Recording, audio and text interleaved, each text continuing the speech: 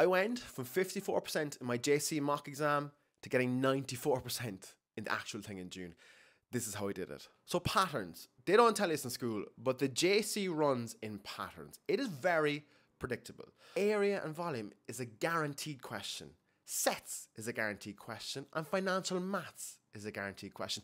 Those three things alone, right, are easy enough questions, all built off your basic understanding of algebra. And if you only spotted the patterns in the exam, you'd realize if I know algebra well, I can get those three topics really well. Suddenly my grades have gone from getting 50 to up to a 60, 70, 80%. So just go back and look at exam papers and spot the pattern.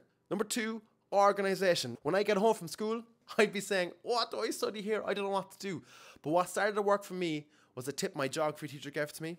She said, At the end of every study session, the last five minutes of that study session, I want you to just write down what you're going to study tomorrow.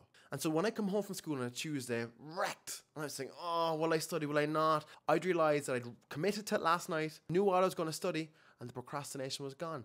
Spend five minutes at the end of your study planning the next day's study. And the last thing, there are four big pillars in junior cycle maths algebra, coordinate geometry, trigonometry, and statistics. Go away and learn them as much as you can, and that will get your grades up a lot more than you think.